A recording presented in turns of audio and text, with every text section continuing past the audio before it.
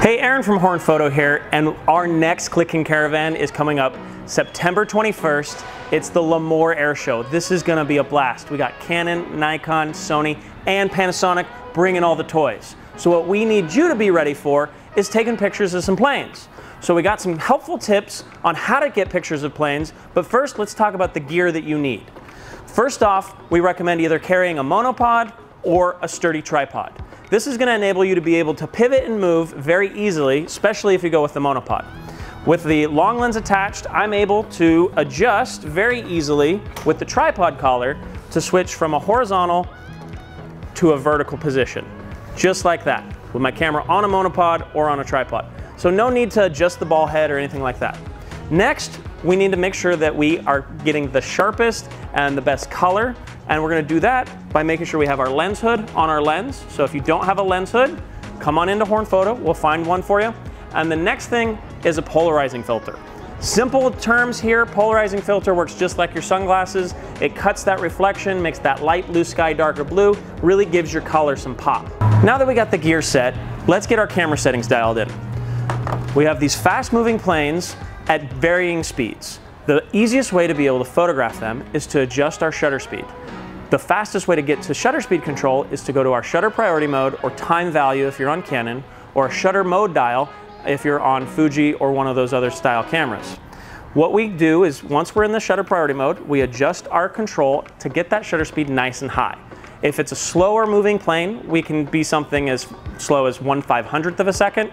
If it's a faster moving plane, like the Blue Angels, we want to get that shutter speed as high as we possibly can.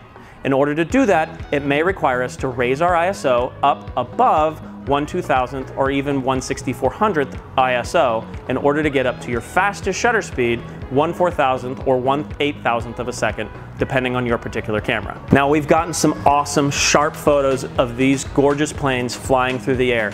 You've stopped the motion, you can see the jet stream coming off the plane. Now we wanna do something creative. We wanna mix it up, we wanna do something different. We can still be in shutter priority mode to do this. All we're gonna do is go the opposite direction. Slow that shutter speed down. As we slow that shutter speed down, don't forget to drop that ISO back down because what we're gonna do is intentionally panning the photo. So I have a short lens on here, but that's not what you're gonna be doing because it's all relative to the subject motion and how it's moving. So we have the plane flying by. I have my camera locked on the plane and I'm just gonna fire and move with the slower shutter speed that in turn is gonna give me a really cool streaked background, giving the plane some motion. As the camera is moving with the plane at the same rate of speed in relationship to the distance, you're going to get some really cool creative effects. You can use this to add motion and effect to your images at the Lemoore Air Show.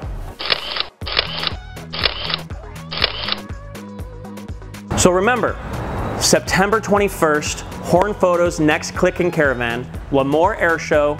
We start loaning out the lenses at 11 a.m. Panasonic, Canon, Nikon, and Sony are all bringing out the toys. It's gonna be a blast. Thank you so much for watching this video. Hopefully these tips will be helpful. If you need more information on how to do these settings, control these settings on your camera, come into Horn Photo ahead of time, email us, call us, we're happy to help. But come on down to the Clicking Caravan, come into Horn Photo, check out our monopods, the polarizing filters. We're gonna help you get the best pictures at the Lemoore Air Show Clicking Caravan, September 21st, 11 a.m. Hope to see you there.